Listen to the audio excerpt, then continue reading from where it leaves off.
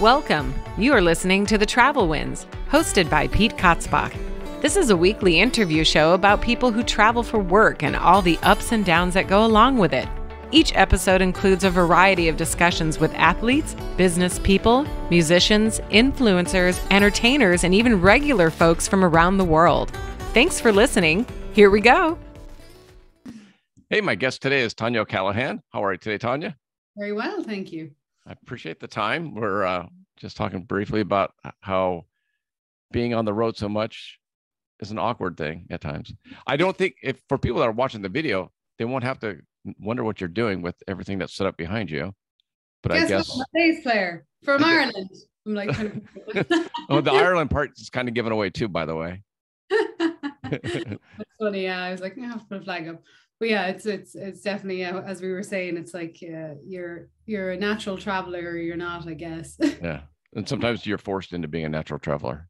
Yeah, well, the nature of my job, touring, and then but you get so used to it, you don't know any other lifestyle. Eventually, I think I've I've literally been on the road for probably just ten years, bar a month here and there. yeah, I I always tell people because people ask me about my show, and I go musicians by far travel I mean, more than athletes or business people. Absolutely. I mean, Absolutely, we we do because it's like tours. What people don't realize about tours is like they usually go for a couple of consecutive months. Yeah, you're just like literally moving entire time for months. So it's uh, it's just because yeah, it's I mean it's the lifestyle that I know and I love it. But like we were just saying, it's like the re-entry period to coming home for a moment is really weird. well, for you, I mean, because you were just over in Europe with with Whitesnake. Mm-hmm. Yeah. How how bad's the time lag, the jet lag for you? Well, you know, it's funny. I've never really suffered jet lag, and that's how much I travel. Yeah. but I I learned a long time ago on my first tour to China, which I really got bad jet lag because you're going so far east because you always yeah. lose time. That's when you get when you gain time, it's easier to adapt. So when you're coming west, but east is always harder. But what I I did the wrong. I remember I first I landed in we got into Beijing, and we had left Ireland at you know in the morning and then we landed in the morning. So it was like, oh shit, I've been awake for 20 something hours and went to sleep. And then you wake up at night and it's like game over. You're yeah. screwed. So I learned from that tour don't ever go to sleep until it's the time, the night time or as close yeah. night time in the new time zone. Just push through. If you absolutely have to nap, set 10 alarms because if you don't readjust immediately, your circadian rhythm is going to be like, whoa, what's going on here? Yeah, yeah. Jet lag is actually not something I really suffer, which is uh, it's just something that I mastered because I travel. So well, and then, like, you know, staying hydrated and all the good stuff. Yeah, I was just say hydration, and a lot of the athletes I talk to always have to when they do the same thing. They go to Japan or China, they mm-hmm. they, they they have to take a couple extra days just so their bodies, because you know you're used to competing at a certain time. So oh, is yeah. it same way with with performing? Absolutely. It depends where you're going. Um, it's funny because sometimes just US tours, like if you're just going to the East Coast and yeah. you're flying and playing the same day, you can get really tired because it's only three hours, but then you're kind of like just slightly out of sync. Whereas I've done, you know, at one stage I was in two bands at one stage that were touring, and I remember getting off stage in um, Chicago with Jordan Fisher, getting on a flight and flying to London to play with Dee Snider or which band was which way I can't remember yeah, the same yeah. day. And I was so overtired that I was able to just do like 30 just keep going hours. and I needed like a day or two.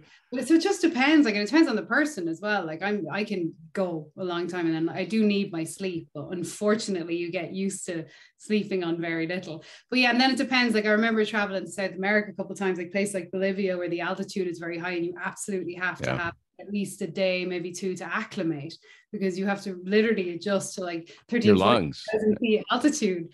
Yeah.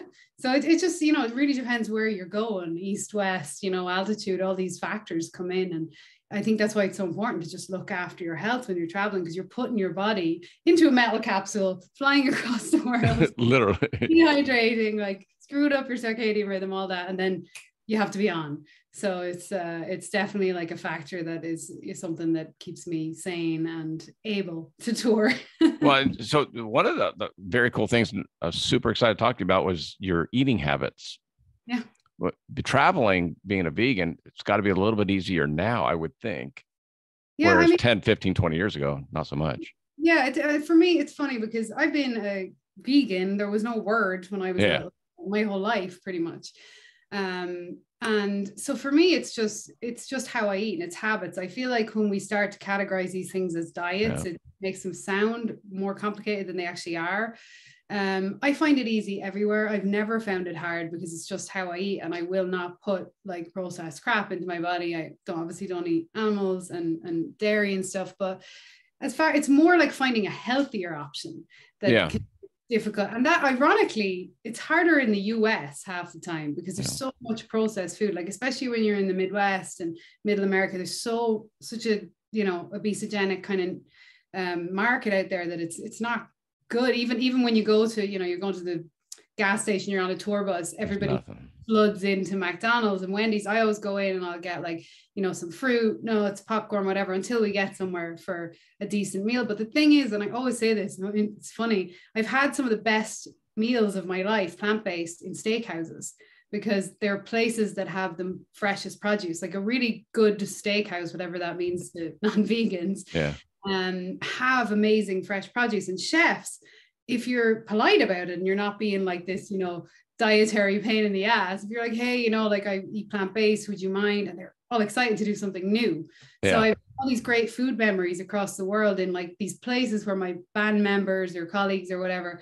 are saying oh sorry tanya we're going to a steakhouse tonight are you going to be okay i'm like i will be because it's how you know it's just it's just how I eat. So it's very easy for me to read a menu that's in a non-vegan place and be like, okay, they have all the carbs, they have all the veggies. So you yeah. just ask lightly, you know, can so it's it's just it's kind it's psychology. Like everything with food is psychology. It begins with that's psychology. Right. So if you want to eat healthy, you will. If you don't, you won't. And for me, I care way too deeply about animals and the impact of animal agriculture. So I refuse to spend my very hard-earned money on supporting a system that I don't believe in. And it's just so it's it's morals at that stage. It's like, yeah, yeah. oh, I'll have a cheat day and I'll, you know, have I know way too much about the food system, unfortunately. So when That's I what...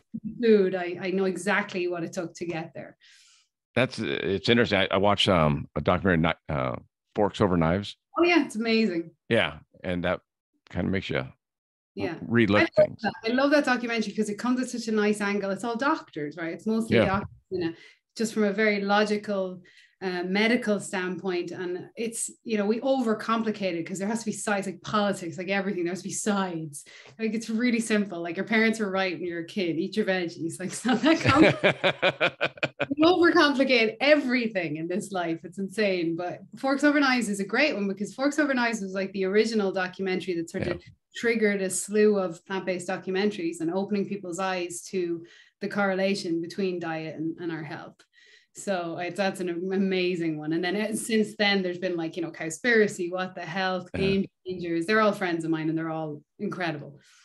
I like What the Health too. That was a good one. Yeah. Yeah. It's you know, it, it's interesting because I, I totally agree. I, when I watched Forks Over Knives, my daughters are 27 and 28. I went to them and said, this, you know, five years, six years ago, I was like, I'm sorry. I didn't know any better, you know, because I, when you grow up, especially in the States, you know the the pyramid and the whole thing yeah. the dairy and more milk and this and that that's what you're told as a parent to do for your kids absolutely it's not anybody's fault it's literally marketing we are yeah. so this con and it's bizarre when you start to look into it because you may have read more into it now but when you look back on the food system like that and you look who sponsored the pyramid yeah, yeah like, well, it's ironic. It was sponsored by the dairy industry, or you know, imagine that. Always, there's a bias there, right? Yeah. And you know, it's quite often studies are funded by the very industry that wants them to, you know, to shine a light on on their product looking good. So, and again, it all just comes back to consumers. That's what drives me crazy. Like, a power is all with us because if you if all the consumers send a market signal by stopping buying something, but we we don't know happen information yet. It, they will shift. It's, they're not doing it for nefarious purposes. They're you know they're doing it because there's a market. So if the market signal starts, all the money, which, which it is, which is beautiful. So like my whole life, it felt like nothing would ever happen. And then in the last just even five to seven years, the change has just been profound because of all these documentaries yeah. and people wanting to take their health into their own hands. And I think one of the upsides of the pandemic was that time off and people time yeah what really matters cooking at home a bit more watching these documentaries when they may not have stopped to, to look at them and gone oh okay because you know there's a pill for every ill but you know that food imagine if you didn't have to take a pill exactly exactly but yeah i mean i could ramble on that for days well i mean that that's why i was excited to talk to you because being a bass player is one thing it's awesome you know i had i had rudy sarzo on the show no, Rudy. And Rudy's awesome. I, for some reason, I get a lot of good bass players. I had Jeff Jones. Awesome. Um. So yeah, I think it's all the rhythm section, I guess. the friendliest. I I agree, but I had Steve Stevens on. He's a pretty good guitarist too. Yeah, there's some guitarists are more modest. Like us bass players are, are used to being in the background, so we're you know our, our egos aren't up front anyway. I'm always joking about that with my band members. it's the rhythm section, right? Exactly. We're there to hold it down. exactly. And get it started. Mm-hmm. So I, I, saw in an interview, um, you're a big fan of Sea Shepherd.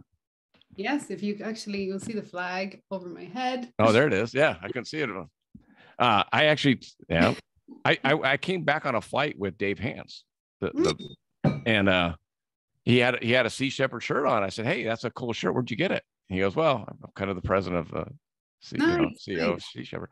I'm like, holy shit, I'm, I'm a huge fan of your show and all that. So I, I, I'm, I'm waiting to get him on the show. He's got a. Yeah, they're really good people. Um, Pete, Peter, ha- Peter Hammerst, I always pronounce his name wrong because of my accent. Hammersmith. He'll kill me for that, but uh, he yeah. just did a TED talk, and uh, that's really powerful. I send it to you. But yeah, Sea Shepherd are one of those because I've been an activist my whole life, an animal rights activist since I was a little girl, working in shelters. Like I was the front line, like picketing, all the you name it, writing letters to the government. Like I was such a pain in the ass. got most of that out of my system young, and then realized that actually conversation and opening dialogue and talking to every side is better. But when you're a young, passionate activist, you're just like, you know, in the emotion of that. But I've always loved groups that are like direct action. That's why Sea Shepherd really spoke to me because they are, it's all well and good going out and picketing and doing that. It's needed, but you also sometimes just have to jump in and literally go in front of an illegal whaling ship and be like, no. and that's how change happens, you know. It's so they're a very direct action group, yeah. which is to me, um, because I, I just, you know, I don't I don't want there's so much, there's so much sort of almost like performative activism these days with social media. I don't even really like saying I'm an activist anymore because it's so watered down. There's so much greenwashing. And even though people mean well, you know, if you're still spending and putting your money into the systems that are c- corrupting the environment, you're, you know, and you're saying you're this, you're saying you're that. That's why all these types of groups I really latch onto because they're out there and everyone on those ships is a volunteer, which is yeah. They, and you can only do a minimum of I, I believe it's three months. I think it has to be 90 days. So the people are there for the that's when you know they're there for the real reason. Yeah. So you know, well, yeah, you're on a ship in Antarctica chasing whaling ships uh-huh. Yeah. You want to be really passionate about the oceans. You're you're, you're walking the walk, as yeah, exactly. But they they have made such change happen, which is yeah. great. Well, that's, that, that's why I brought them up because, but it, I mean, how long have they been doing this? You know, with with Paul was 20 with Greenpeace, 50 yeah. years, you know? Exactly. And then he left Greenpeace and started yeah. this. It's been like, yeah, it's been a long time. yeah. So I mean, uh, what was the um the orca whale movie? Oh, Blackfish. Blackfish. When we when my wife and I first watched that, she's like, "Oh, this isn't going to change anything. People are still going to want to go see the orcas and all that." But it changed. It just it, yeah. yeah. It changes enough, and um, it need, it still needs to happen, like because yeah.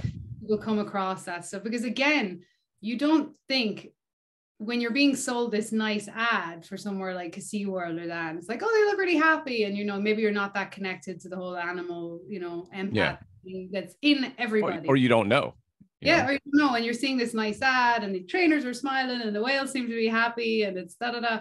But then when you actually find out how, like, how the fuck did yeah. those whales get in basically a bath, which is their, you know, equivalent of a bath, and start to understand how intelligent these beings are, like yeah. why we would do them for the sake of performance, it's just so disgusting. So again, it comes back to that thing of like, if you spend money supporting these places, they will stay open, and they just shouldn't um right. you know like there's other ways to like they can become conservation they can become education um there's some amazing stuff happening with like uh the robots. I don't know if you've seen any of these. Like they're they're starting to make like dolphins and whales that look completely real, but they're Oh, like wow. yeah. So you you get the experience. Kids can get the experience of going to like an aquarium. Yeah. None of the animals are animals, but they see you know, and it's it's very new, but I think it's incredible, and that could be a huge step Yeah. forward. Huge, huge. But it's funny you mentioned that because this morning I had a timeline. You know the memory pop-ups you get on your phone, and I got this timeline memory from like three or four years ago, and I was in San Diego for I think a studio session and the hotel I was staying in, I opened the first booklet and it was like what to see, like attractions, Yeah, and yeah. SeaWorld. Sorry, And I, wrote, this big long note like don't spend your money here. So- yeah, so next time I stay in San Diego, I'll look for that book. For that book and be like, Tanya was here. exactly. I know who wrote this. Yeah, yeah. But it's important to use your voice. Like, you know, animals, Yeah. you know, you have to speak up for the voices per se, because it Yeah. is part of the ecosystem and stuff like, especially that kind of stuff. It's like, come on, it's 2022. We're like, we're, we're over aquarium parks. Like, let's stop. Well, and uh, everything's, you know, like you said, it's it's you know, it could take decades, Yeah. but I and I always said like, like, even with eating, right? Better is better. So if if I I had a friend who's like, how did how did you stop eating meat? And he's like, I'm like, well, you Just just you just stop. But I said, I go if because he he was he goes, I eat meat every meal. And I go, I, I, you know, I know. And he goes, I said, but if you cut out one meal a day, you know, better is better. That's 33% better. That's seven meals of eating something healthier. Absolutely. I So- agree so much. And I sometimes get like sort of given out to by the vegan community about this because I'm very much about that. If you can, like in an ideal world, yes, everybody goes plant based and we have this like conscious awakening that it's just better for the planet or whatever. But in the meantime, if you start to progress towards more and more plant based, because you have to meet people where they're at because you everyone comes from a different culture family is different like cooking is so tied into our culture and our family Yeah. and our psychology that like you said if you take out if there's a day a week or you do a meat free day or two meat free days and you just start to go that and then you start to really understand and explore what you can do with plant-based cooking which is wild like i've so many heavy meat eater friends that Yeah. are i'll make them bolognese and there's no meat in it and it's mostly vegetables it's not fake meat and they're just like jesus i never would have known. I'm like meat you know it's about texture it's about flavor. Yeah. and then you feel better like everybody feels better. And that's one thing on the road with like all the bands i tour with i'm always like pulling at them to come for more and more plant-based. And i try to make the backstage riders as plant-based as possible. And then people are like oh i feel better. I'm like yep oops. Yeah. Well, it's, it's, it's interesting because the guy that asked me about that, his dad had a heart issue. You know, he's mm-hmm. in his late 70s. And I said, Well, what, what did the doc say? And he goes, He gave them the, a plant based meal guide. wow And I'm like, why, why, why wait till you're 70 having heart issues? yeah yeah well that's great to hear more and more doctors are doing that Yeah. It used to be like, here's a pill. I hear that so much more often now, which is great, where doctors are saying maybe you should, you know, cut down on your consumption of animal products because obviously we have a plethora of information and studies that it's directly correlated with heart disease. And it's it then it's down to the person, right? Because change is hard for people. Absolutely.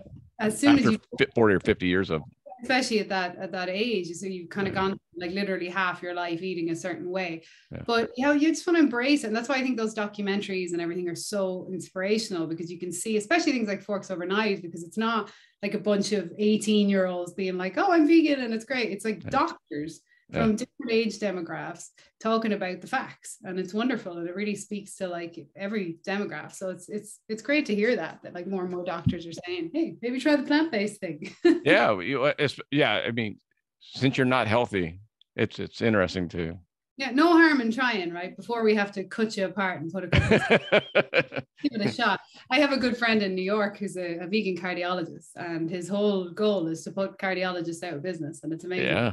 Because he's like, look, here are the studies. I've you know I've seen some of his lectures, and it's incredible. It's incredible what you can do with food. People who are on the verge of massive heart attacks give six to eight weeks. And yeah. Now they have the arteries of a child, and you're like, wow. well it's that my, my dad passed uh he had alzheimer's and and dementia and, and the doctor said you know he ate he ate terrible for decades and the doctor said he could get better because they were talking about opening up his stents, you know, and his, in his arteries and all that. He, they said if he just starts eating better, he won't need that stuff. Right. And he wouldn't do it.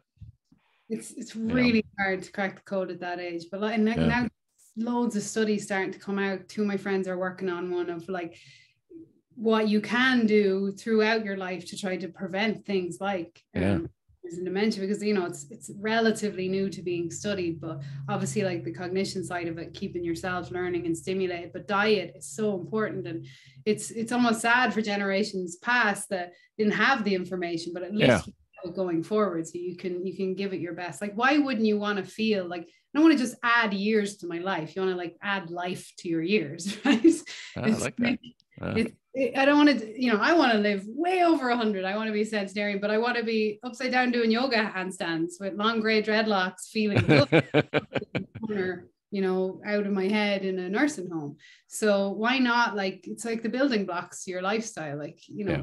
well, I'm plant-based, vegan, vegetarian, whatever the fuck you want to call it, my whole life, basically. I was four when I realized what meat was. And people still are like, but where do you get your protein from? I'm uh. like, I'm alive. Like you're talking to me. It's been over 30 years. I think I'm a good like flag for you can be done. well, I was going to ask you, you've toured with, you know, like you said, Dee Snider and Steven Adler, and uh, that's a pretty cool platform for you to be able to do these other things. I kind of like this podcast is the same way, right? Yeah. Like I, I get to reach people that may not versus me just being a sales rep and going out and yeah well i think that's like our purpose in this life as far as i'm concerned is to you know serve others in some yeah. way. I have this love hate relationship with social media because i have a platform from all the bands i've been in but i don't want to be on there just for the sake of like posting stuff. So for me having a platform is the perfect reason to do what I do. Obviously, I love music and I love performing, but it's way bigger than me why I do it because it gives yeah. me a, a, platform to talk about what I'm really, really passionate about, which was in me long, long before I picked up a bass. Right. So it kind of was like a, a, a, natural, weird progression of ending up with this career and then going, okay, well, what can I do with this platform and do all these other projects and sort of use my voice for, you know, a good cause. Um, yeah, because I really don't like I couldn't imagine just being on social media or having a platform for a purpose that's just you. Like it just seems so exhausting mentally. so, you know, and you know, each to their own. But uh, for me, it's definitely like having a platform is everything, and but using it wisely, not just like shouting about an issue. I've learned that from being such a long term yeah. or whatever you want to label it. I really like to talk to people from diametrically opposed opinions because I think if you can find two level headed people from very, very different viewpoints, it's exactly where the biggest growth is. And that's why I love talking to people like, I, you know, literally talking to people, obviously like farmers and people who are butchers and yeah. whatever, like just totally different viewpoints on this. But it's because it's this whole thing of like, we don't see things differently. We sort of see the same thing differently it's uh or say yeah it's it's it's just weird. It's like that's where I, I think we go wrong with platforms and social media. We sort of we end up going into these echo chambers where okay i'm i'm a vegan and i want to hang out with vegans and i think like vegans or yeah. I'm I'm left or right politically and I want to hang out with that or I only want to talk to bass players or whatever it is. And that's ridiculous because unless yeah. completely open up the spectrum of conversation we're never going to get anywhere. So I think that's re- a really really important part of growth because it's important like it's like when it comes to things like animal agriculture it's a massive issue. It's massive for the environment obviously the obvious points but the, these are people's livelihoods that are tied into it as well. So you have to look at how do you switch the system? Instead of just like shouting and pointing the finger how do you switch the system where the farmers win where the land wins where the consumer wins where your health wins? Like it's you know it's not just a simple like oh overnight no so yeah, a lot of it comes down to like using our platforms wisely like that. So yeah, you'll find me in some weird chat houses, like you know, with soil experts. And I'm just a dork. Like I'm just totally dork. I'm a dork. I'm a bit of a dork like that, but you know, that's that's the point in having a platform, right? That's it. Well, so for my audio listeners, how long are your dreads? Two, three feet? Well, they're tied up now. Yeah, so yeah. Down, they're just like yeah, lower back, almost sitting on them. I just took, I just so I brush them out all the time and like That's why they're all wolf. That's how I give myself a haircut. But yeah, I've had my dreads for 12 years. So just for my audio listeners, because you mentioned the great dreads, so I didn't. Yeah, big long long dreads and i represent the dreads are not what people preconceive as dreads most of the time and they're fabulous and clean and they can be you know just as fabulous as anyone else's hair. So i represent i, I fly the dread flag because there's an awful misconception around the world about dreads. It's very frustrating.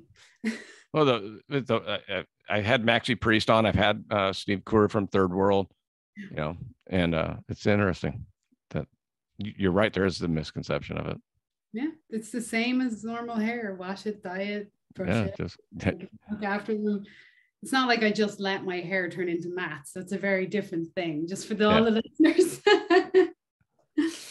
well, so are you a natural blonde or are you a natural brunette or both? Um, this is my natural color. Yeah. funny though, I was I was blonde as a baby. Oh, me too. Yeah, and I, then I, dark, and then absolutely yeah, I mean, if you look back over my career, I've had every because you can, you know, I dye my dreads different colors over the years. They've been purple, they've been pink, they've been everything. So they're just half and half now. I was like, let me do half and half. I'm getting a half and half with the grays. That's all. Yeah, it's totally different. Yeah, when I start, when I, whenever my dreads start to go gray, hopefully they'll all just like uniformly go gray and be really rad. it won't happen that way. Probably not. not, not uniform, at least. we'll see. Yeah, with all your travels, what uh what's the most influential place you've been to so far? What's influenced you the most? Um a couple different places stick out. South Africa was, will forever be one of my favorite places I've been because there is just something about being there. I mean, it's the motherland, right? Yeah. About like when you're there, it feels different, and the nature there is so profound. Like it's I mean, the, the word awe doesn't work. It's just like I can't even describe how beautiful it is. Um, you know, the, just it's it's a different level. It's a different level, and the energy down there is beautiful. The people are beautiful. Such a such an intense history. Um, that there's still a very intense feeling, you know, the, with the apartheid and then the politics and all that. But then the love of the land and yeah. the food and the culture and the people. There's something about South Africa that always just stuck with me. And I was lucky enough to go into the townships in Langa and spend some time with people in the townships and that with the kids in, in one of the biggest townships in, in South Africa, Langa. And that was a really, you know, amazing moment because it, it, it puts a lot of things into perspective. It's like literally the poorest people in the world who have absolutely nothing, but they're some of the happiest people. I was gonna say, yeah. I'll never forget those children because immediately after I was there, I was there, and you know, there's like six or seven kids in a family, and they all sort of look after each other depending on the age demographic, and they're playing with whatever they can make football out of, and they're really smart and they're really engaging, and they don't know any better, right? Yeah. And then I got on a flight and flew back to through New York, and I got out, and the first thing I see is a kid like giving out that he doesn't have the newest fucking iPad or some shit to his parents and I just thought, wow, and it's not that kid's fault, right? He's just raising the different. It's cultural. Yeah. It's cultural, but it really was like, wow, that'll always stick with me because the kids there, and you know, and and just South Africa, so Africa is so beautiful. Um, and yeah, there's like, I mean, just on this last tour, I fell in love with Tallinn, Estonia. It's mind oh, wow. somewhere I hadn't been yet, and it's a medieval city. Um, you know, that relatively recently joined the EU, so it's got this really cool like modern happening, but it's like spectacular medieval city. Um, so it's it's just got this beautiful um, feel to it, and really, really like forward thinking, plant based, everything, friendliest people. Everybody, everybody of every age range speaks multiple languages, which is so yeah. impressive. Um, so yeah, there's a few places like that that, that will always stick. And obviously Ireland is home. My heart's in Ireland.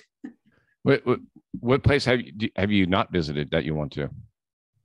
Um, I have not yet been to Australia because I oh, had wow. two or three tours. Funny enough, two or three tours that were heading there either cancelled or rescheduled. Yeah. COVID. Um, where else? I really want to go to Bhutan. That's just for me, for my myself. Bhutan is high, high on my bucket list. But you have to like apply for a, a visitor visa for Bhutan. It's very special. really considered like one. It's literally we call it like the happiest place in the world. It's at the base of the Himalayas. So I really, really want to go there. Um, but yeah, there's there's still a few people. Like I'd like to go to Antarctica. Yeah. say I went. um, yeah, there's there's a couple places I still need to hit up for sure. I did. I toured China, but I've never been to Japan yet. So I'd like to get over to Japan. Um, but yeah, I've been I've been lucky with my travels. I've been a lot of places, bands from a lot of places. Uh, let me ask you this question: How much is it luck, and how much is it is is hard work? Meaning, you you did something the other thing I want to talk to you about was uh, you did something that most people would never do in their life. Leave your home country and come to a different country, not knowing anybody. I mean, virtually nobody, with no guarantee of job. mean, that- yeah, That's that's ballsy. crazy. Yeah. Yeah. and you know it's it was when I look back, I'm like, I would probably never do it now. It's like I probably would, but I I've always sort of worked well under that type of pressure, if that makes sense. So I don't like other than touring with bands. For instance, like I like traveling on my own a lot, or my days off I'll like plan on my own because if you're waiting on people, it changes like your own opportunity a lot of the time. So when it came down to this, I had done so many gigs in Ireland and I was really, really passionate about trying to become a session musician at that point. I just like figured out what that was. And I did a session before I came to LA. I had done the session with Maynard Keenan in Arizona. And as soon as I did that, and someone like Maynard had brought me into, I went, wow, like that level of artist could hire me if I'm in America yeah. Because it just won't happen in Ireland or London or you know it's a different scene and they're great scenes but the reality was if you want to like try and go big it's like go big or go home so I was like well fuck it Let's go. to LA because if especially and if you're on your own you're going to have to network going to say network it's just really talking for an Irish person you know Yeah. Yeah. but yeah, I figured like just dive in because I, I really believe like across anything you want to do in life, and I'm always saying this to people, if, if there's something that you're trying to do, you have to find the people who are already doing it and then surround yourself by them. So I'm like, well, if I want I want to go out and you know, you start asking around about jam nights. Where are the people that play with the big bands? They're all playing jam nights when they're off the road. Okay, start going to the jam nights. Start going to the NAMM show. Start going to you know at the time there was more like little bass expos and stuff they're kind of gone now but just go and be surrounded and you're i'm literally there like hey i'm here looking for a gig and, then- eventually it's like oh that irish girl who's Yeah. had enough of a cv behind me that i could you know prove my worth per se. Um and it's just that it was like just tediously chipping away at getting into a scene. And then eventually someone's like all right let her up on stage. And then you play and then it's like all right okay she can play. And then Yeah. it's like "Oh, you want to do a studio session? And then it's just this bizarre just whirlwind that happened from that and it's like bam bam bam bam gig gig gig once it started it never stopped so um Yo. yeah. Yeah.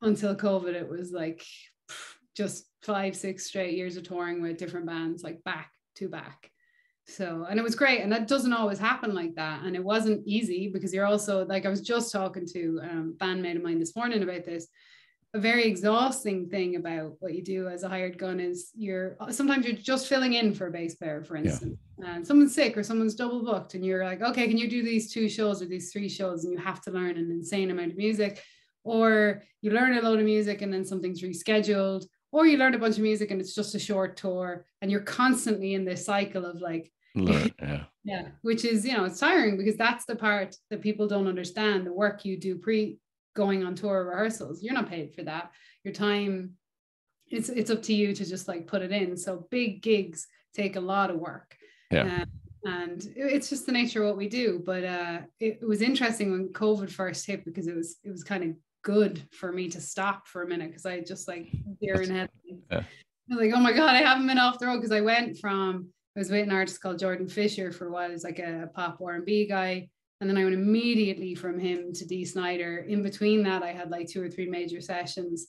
And then I went to Steven Adler and Dee Snider and I was back and forth. And then Whitesnake. And it was like, bam, like the whole thing was just like, so it was, and before that, I was like in the Riverdance back home. So it was, uh, yeah, I, need, I needed a break when COVID hit. That it's funny that a lot of musicians have told me that. Yeah. You know, it, it's what- Maxi Priest who who got stuck in Jamaica Oh, Uh, wow. because he was he's from England. Yeah. Um, he said, you know, he he was he had, he had taken some hiatuses before, Yeah. and then but when you're forced to be in a hiatus, yeah. he wasn't so happy. You know, Yeah, it, it, he, he- it allowed him to work on different things and different projects. but mm-hmm. all of a mm-hmm. sudden you kind of get that, hey, let me get back on the road. So yeah. And lucky for me, like I have this other passion. So what did the time off touring music did, although I toured in the middle of it for most of like the second year of COVID, I was still going out with, with Adler and a few other fly date things because a lot of the US was still functioning as normal. Yeah. We were able to gig a little bit over here, but I had Highway to Health, the TV show that I do with Derek Green. Um, we started editing that because we hadn't had a minute to stop. So we, you know, all these other projects, and like, you know, I speak in the activism world a lot, just on panels and stuff online. I was like, okay, let me put some focus into being at home and being able to do this and, and building around that yeah. and take a break. And then, you know, and then it slowly started to come back. And then it was like, all right, let's go. Whitesnake, bam. Yeah. and so I'll be back. I enjoyed the the time. It wasn't really time off. I worked most of it, but not yeah, having to be on the move. Touring. Yeah. That's it. That's what's interesting. Cause I was the same way. It's like all of a sudden, like I'm not traveling. My wife's like, it's kind of weird having you home. You know. I'm like, yeah, I know. sorry. We'll it's kind of weird for me being home, but I, you know, let's paint the house. Let's um, let's start growing some plants. Let's start, you know. I became a plant mom. Who didn't? Yeah, yeah.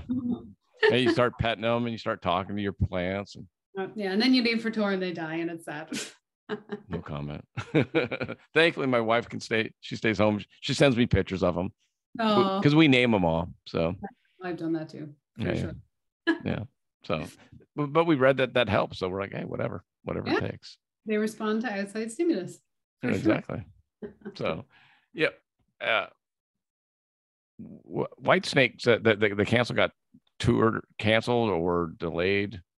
Yeah, so David, and for we had an amazing European tour. It yeah. went pretty much perfectly. Uh, and we're lucky because so many bands are not staying out more than a few weeks at the moment. Yeah. It's bizarre. Like either insurance or someone gets sick with whatever it is. Yeah. And it seems like bands are just like dropping off like two weeks into a tour. And we did it. We like made it till the very end. There's a few shows canceled.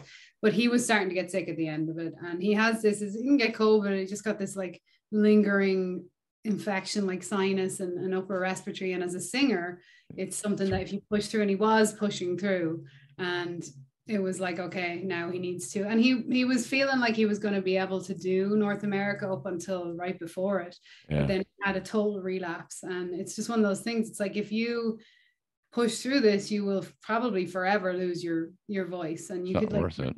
was too deep of an infection like he's been going through it you know david he really went through it the last um six or seven weeks and they've been trying everything to get him back but it's you know you have to make a decision we're yeah. all super sad about it obviously um because we were ready to go we were ready to do north america but um at the end of the day it's his health and it's is, is more important than any of our gig per yeah. se so it's you know he has to make that decision and he's gutted and we're all gutted and we're all we're the best of buds like it's such a band family so right now he just he needs to get better and then you know decide what's best for him. So we have to as hired guns we have to be grateful for an amazing tour. Yeah. it was an amazing tour. We just came off and it was very very successful. And we got some great footage of that that's going to be turned into like a farewell dvd which is exciting.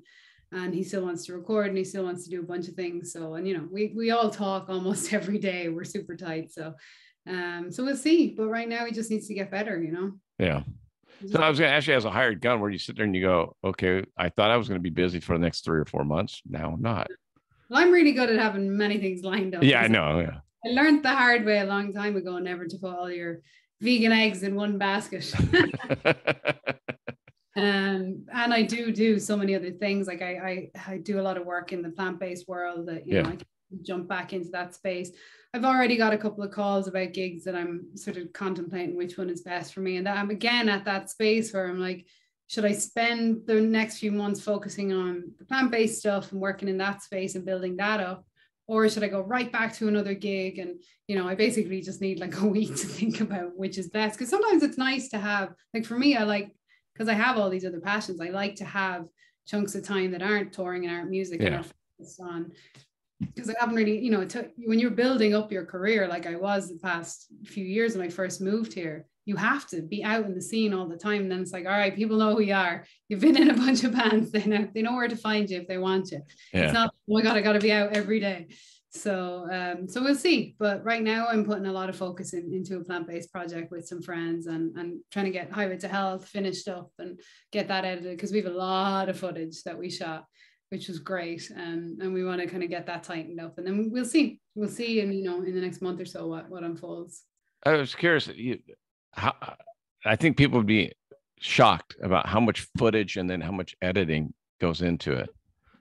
Oh, we have terabytes of footage. Like, for anyone that doesn't know what it is, like we, I shot this show called Highway to Health with the singer from Sepultura. I don't know if you saw the trailer, but yeah. we went out very unusually and actually shot most of the footage ourselves instead of just like pitching a concept because me and Derek were touring. So we're like, well, let's. You're already there we're already in these places or close by. Yeah. Let's sort of take advantage of who we are, what we do already, and also keep the budget down. And you just have your crew, and you know, some of it's covered by the tour. So we actually ended up filming like seven episodes of a, a plant-based TV show um, while we were out on the road, just literally just before, like we stopped filming March of 19. 2020. We just stopped right as, and I got back to New York and then COVID hit and everyone. Like, next oh, week yeah, yeah, no, next week. It was bizarre. So we just got all that done. So we have terabytes and terabytes of footage that we need to like sift. We've a lot of it edited down, but working on that, you know, working with because it's a brutal industry. It's as bad as the music industry. You know? It is, yeah. Sales agents and pitching and da da da da. So you know, we got that to focus on. We've got a bunch of different stuff to focus on. So um, yeah, there's no shortage of things to do in my life. That's for sure.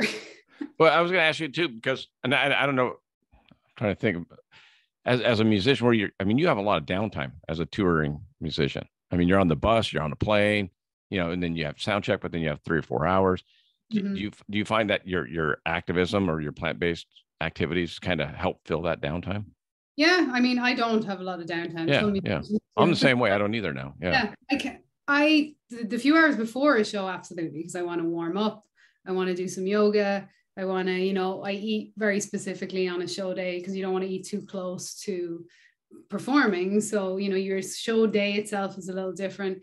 Um, but usually, like, I, I could be writing an article, I could be speaking on a panel. Like, I just, I don't do well being, I should get better of sitting and being still. You know, good luck with that. Learning a lot more from my friend Mo Gawdat. I don't know if you know Mo's work. He's like the happiness expert, but he's all about like trying to master that like monk life half of the time where it's yeah. like, stop thinking you have to do things all the time but I don't know it's always how it's been but yeah you have to like a show day is a very different thing it depends where you are like we could be flying in from a different country you could be rock, rocking up yeah. but like, sometimes you're rocking up just before the show and you have like 45 minutes you're like shit I warm my fingers up and go. Some days are yeah you have all day and you're in the middle of nowhere. So I'll just try to fill it with you know I'll do some yoga. I love to read. I like to write. I do a little bit of that. I'll eat you know healthy lighter and earlier on a show day. Um but yeah it's uh the, the, the work in touring is not the performing the work yeah. is travel. I mean you know what's your job work is the travel like living together with a group of people everyone has to get along you have to be really good at personalities and and blending and understanding personal space and understanding how to live in small quarters together if you're on a bus or you know being reliable and being always on time early all that stuff because then it makes the the whole thing take over so much easier do you think uh, it's so interesting you said all because I I always tell people I drive for a living and I do meetings in between. You know, especially hmm. California and Los Angeles, there's just a lot of traffic. So yeah, you know, I, I could drive six hour round trip for a 20 minute meeting. Yeah. Yeah, so. that's and that's the work. That's essentially the part you're getting paid for. Yeah. Like we on stage, you're like, you kidding me? This is a pleasure. It's like the one thing in my life that I'm like completely present when I'm on stage. And that's yeah. why performing you're like you're in the performance with your band which is beautiful but that's you know an hour 90 minutes the, like, the travel the chaos something's gone wrong something's with the gear you know sound checks chaos something went down. And it's there's almost always something. There's always something. Yeah. There's always something. That's where i came up with the show name the travel wins because for me I, I especially when i was younger i mean much younger everything was always about how much am i going to make on this trip you know? So now I, I, I try to I'll stop and take a picture at the side of the road, or I'll, I'll go to a museum, or I'll, I'll take a different route, mm-hmm. just so it's something different. And then that that way I create a win in my own head. Yeah. So I'm not stressed about the meeting. Yeah, you know? yeah. No, and that's like if you don't take advantage of chat, like that's my favorite thing about it. Bands I'm in always laugh at me. Some guys in the bands want to get up and about and see, and some are just like creatures of habits that don't Yeah. leave the hotel at all. I'm like, oh, no matter how tired I am, I want to see like the medieval city. I want to find like Yeah. places to eat. I want to take pictures. I want to do this because that's like, I mean, that's travel memory bank, literally. Instead of just going through the motions, like you said, it's Yeah. they're the things you remember at the end of your life, you know, not the the meeting. Yeah. it was an epic meeting. Um, you know, it's the memories from travel and, and interacting with local people and understanding different cultures and experiencing the local food. And, you know, it's that's my favorite part about touring, other than obviously the performances are amazing, but just going out and exploring. And no matter where you are, even if it's, you know, somewhere within the US or somewhere really, really exotic or far away you've never been, it's you know people are just people everywhere that's what's so fun about the world Yeah. that's what pisses me off about mass media and these weird you know they feed people all these weird biases and i don't like it. And people who've never traveled are the very ones that will give out about a certain culture. And you're like have you ever been there? Have you ever Yeah. met from that culture? No so shut up. Yeah, well, all over the world are just going about their day like me and Yeah. you most part. And there's crazy people everywhere so. Well, and it's always the, the, that's the clickbait part, right? I mean, when, when there's a, a forest fire, you know, 200 miles away from me, my aunt and uncle back east are calling me saying, "Hey, are you okay?" And I'm like, "Yeah, Yeah. I'm I'm good." Why? Oh, it's on fire. California's on fire. yeah yeah the Like- news said everyone's going to die in california yeah I'm so like, California's a big place. There's fires everywhere. I go, there's gonna be tens of millions of people that die before it gets to me. We're fine. We'll be Yeah. all right. yeah it's a yeah don't even get me started on the media that's another rant I'll go the advent of mass media but yeah, but that's yeah. That- do you think the COVID helped people kind of see, you know, beyond the mass media, behind the, you know, like we were talking about forks over knives, and it gave people time to to see. I, for me, it did. So that's why I asked. Uh, yes and no it depends like i because it's such an interesting thing i watch so many friends like shape their opinions in different ways um Yeah. uh, i always i don't watch any news um i get my news from reliable sources and like real journalism um but watching my friends that like say picked a specific side say they watch cnn or, Or Fox, whatever. Yeah. whatever they choose to watch they are just regurgitating rhetoric that's exact you know and not necessarily fact checking the information that they're letting into their head the whole time so it's it's interesting and it's like sometimes it's better just not to have an opinion on these things because the thing is we don't know on the grand scale of things about a lot of factors of covid we just don't because it's still semi Yeah. Well, I don't mean just about COVID, but I mean about uh, curiosity things in general, right? Whether Yeah. it's f- food or living, meditation, yoga. I mean, I got into sound baths and a whole bunch of stuff because Yeah, yeah. I just started looking into it. what's sad in a way is like the the and I know at the start was like everyone's just in panic mode. The amount of money that was, you know, spent wrongly across it, which is a whole other conversation. Yeah. You didn't see any national health campaigns, which was frustrating. So it was kind of down to the individual to go, well, we don't really know what's happening. We don't know, you know, so many different strains, all these things are going on. How about I stay healthier in the meantime and I give my body all the means possible to have Yeah. a healthy immune system. Um, but so much of that is also mental as well, like that thing of like turn off the fucking news, like that's causing like the cortisol peak in you, the stress, all this. So yeah, it's it's a funny one. Like I think for a lot of people, yeah, they turned a little bit more inward and got more into health and that. But then a lot of people got like super lazy about it, and you know, fast food chains were busier than ever. When I was still living in Hollywood, when it hit in South Hollywood, and I was like, oh my god, I've never seen lines so long for this these drive-through places. So it's interesting. Like people took totally different routes. I think coming out of it, people are realizing now the importance of like downtime, things like yoga, you have stress, think how to manage your stress, food, all that. Um, because you, like everything, you kind of have to go through a thing to understand it. Yeah. Right? Um, but yeah, I think like a lot of a lot of people did wake up. A lot of people that I knew throughout my life that were never, never would have give a single shit about health. Were like, Yeah. oh, it's time to because I want to be ready if I get this thing. You know, they had the Yeah, Oh, yeah.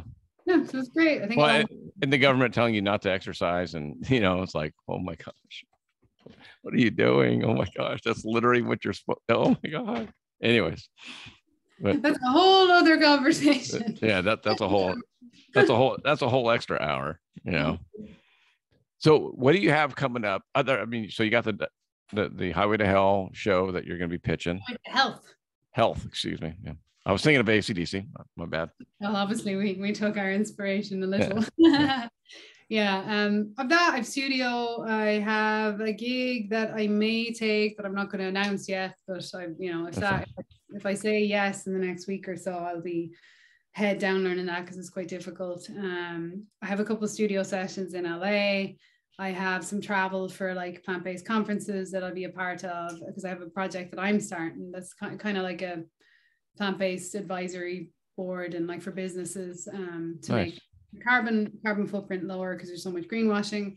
Um, so I just all these different projects that are connected to the plant-based world, some some recording, and then some of the music for Highway to Health, which I'll do myself. Um, and yeah, there's there's that many projects. I'm actually like, hmm. what else? Yeah. I talk about. You have like a whiteboard and you just keep up. Yeah, this time of year as well. There's a lot of I do. I literally have a whiteboard here where like yeah because each day this week is like a lot of podcasts this week, for instance. Like this yeah. is I'm home after not being home for a while. So all the podcast requests I just like put into a week. Sure. All the different time zones I have on a whiteboard here because I just do these global ones. But yeah, and then this time of year in in the animal rights world, there's a couple of like galas on and um, yeah. conferences and things like that. So I'll be at all of those and yeah and then also just trying after being gone for four or five months straight just trying to take a few days here and there and like just recenter and go i live in the desert i'm out near joshua tree so i'm oh nice. maybe take a couple days and just go and be in nature and just like not be in such a, a rush to always do 400 things at once. Do you, uh, do you find it that uh being around the peacefulness out there? Because i like i actually have land in, jo- in um yucca valley. Oh no i'm in yucca valley. Yeah so, yeah, it's you know it's I love it here for the peacefulness. The summer is very hot, as you know. Yeah. Like right now, it's cooled down just the last few days, but it was like 105 degrees. It's a lot. It's a lot. Yeah. You, I'm able for desert life. Especially for your Irish, right? Yeah, but it's funny. I'm like a natural desert head. Uh, a lot of people come here thinking like, "Oh, I'll leave LA and do the thing," and they cannot desert yeah. live. Funny because you know you get lizards, you get spiders. You, get, you got to get used to like you're living in the desert.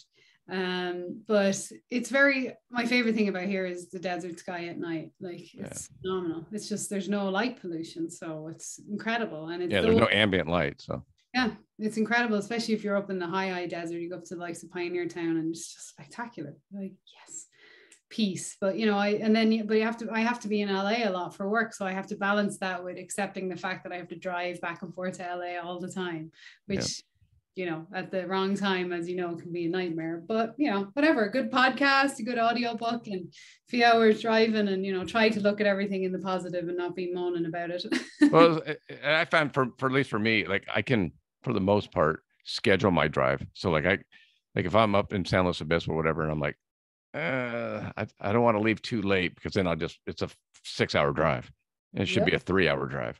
Wow. But yeah. so I, I always try and schedule my meetings and all that. And then if I have to, I just drive down the coast. Yeah. You know, so I'll just come down the one and just yeah, just take a longer drive, but at least I'm looking at the ocean instead of the freeway. Yeah, yeah. You get if you can do that with your job, it's great. Like just that's what I try to do. Like either leave super, super early or yeah. super, super late. So although it's weird now because it doesn't seem like there is a pocket that's not rush hour. and, and it's going both ways now. Yeah. A lot of people moved out here. So it became this thing of like they come to their weekend houses. So Thursdays and yeah. Sundays aren't what they used to be, you know. I have a lot of friends that moved out to Palm Desert and Palm Springs. Yeah. Yeah. People are going because like everything's gone here. Like everything was bought up or is ridiculously expensive. So people are starting to go further, like 29 Palms and all that. yeah. there. It's uh you're getting further away though at that stage. Well, now you you also because I, I just uh I'm, I'm waiting to to get him on the show. One of the um chiefs of the reservation out there, they just built a new casino out there on the like 29 Palm side. And oh. it's out. I'll have to send it to you. I'm trying to remember. It's I looked at it, I'm like, oh my God, it's on the way to Joshua Tree. Like, and it's there's nothing around it. And there's just a little casino there now.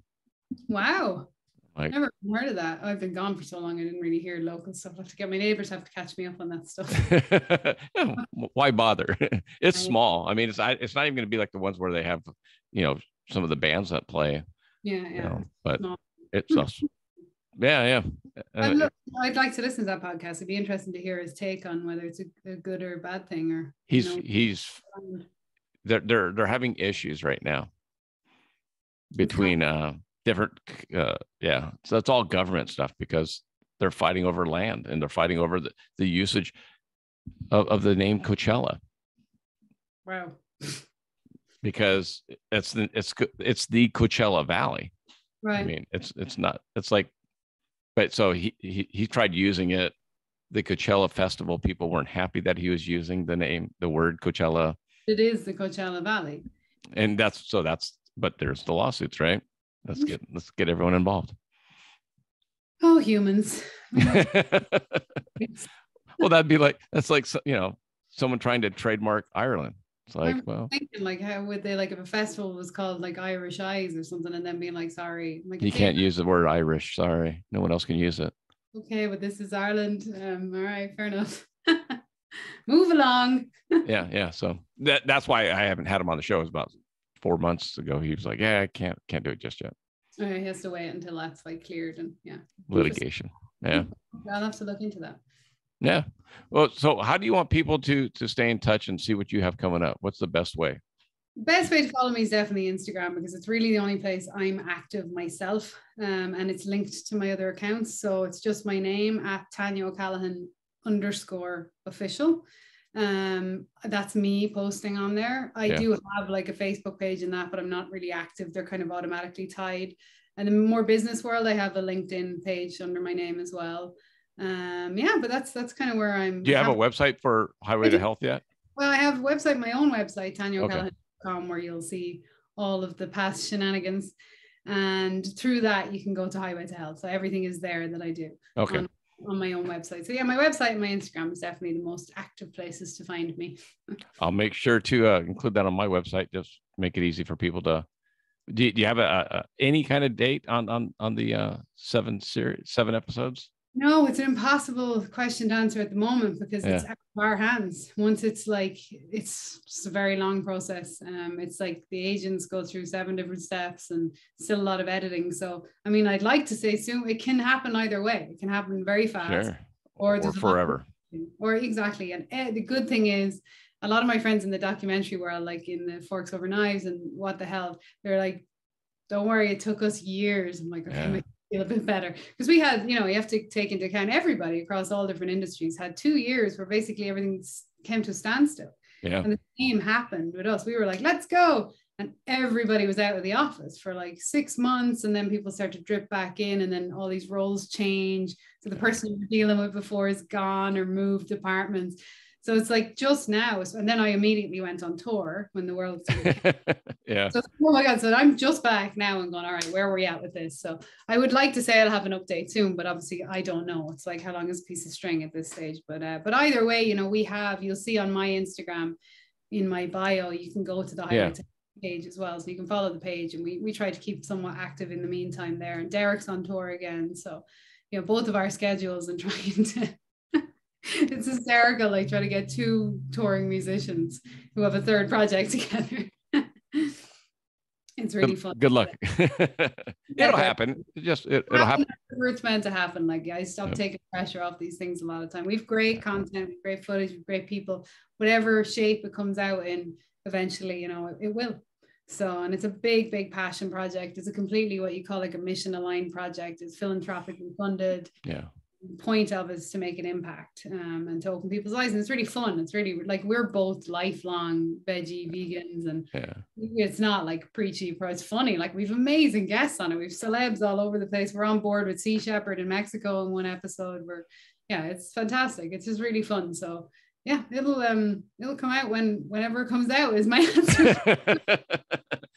it'll happen when it happens. That's you what I was. You can follow myself, Derek, and the page. Sure. You know, it's it's a lot of our day to day lives is the same. There's a lot of food, a lot of positive, you know, positive information about change and whatnot. So, but yeah, we're we're we're easily followed on the old socials.